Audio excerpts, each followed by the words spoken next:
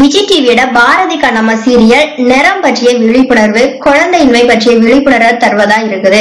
பாரதி ஒரு டாக்டர் தனக்கு குழந்தை பிறக்காது. ஆனா தாம்பத்திய வாழ்க்கைக்கு குறை இல்லைன்னு அவனுக்கு தெரிஞ்சிருது. இந்த உண்மைய கண்ணம்மாவோட அப்பா கிட்ட சொல்லி கண்ணம்மாவை எனக்கு கல்யாணம் பண்ணி வைப்பீங்களான்னு கேக்குறான். கண்ணம்மாவோட அப்பாவுக்கு ரொம்ப சந்தோஷம். ஆனா பாரதியோட அம்மா சௌந்தரிய அம்மாவுக்கு கண்ணம்மாவை கண்டாலே பிடிக்காது. இன்னொன்னு கருப்புனாலும் அவங்களுக்கு ஆகாது. அழகா இருந்தா மட்டும்தான் சௌந்தரிய அம்மாவுக்கு பிடிக்கும். அதனால சௌந்தர்ய அம்மா மிஸ் சென்னை அஞ்சலிய அகிலனுக்கு பேசி முடிக்கிறாங்க. அஞ்சலி கண்ணம்மாவோட தங்கச்சி.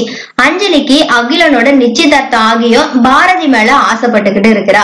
கண்ணம்மாவை பாரதி கோயில்ல சந்திக்க போக அங்க மாயாண்டிய அனுப்பி வைக்கிறாங்க அஞ்சலியோட பாட்டி. மாயாண்டிக்கும் பாரதிக்கும் சண்டை நடக்க கத்தி எடுத்து குத்த வரான் மாயாண்டி. ஓடி போய் தடுக்க போன கண்ணம்மாவோட கையில கத்தி குத்திருது. தன்னோட ஆஸ்பத் ஆஸ்பத்திரிக்கு அழைச்சிட்டு போய் கட்டு போட்டு விட்ட பாரதி முதன் முதலா கழுத்துல போட வேண்டிய மூணு முடிச்சிய கையில போட்டு இருக்கேன்னு விளையாட்டா சொல்றான். எதுக்கு குறுக்க ஓடி வர? இப்போ பாரு கையில அடிபட்டுருச்சுன்னு சொல்றான்.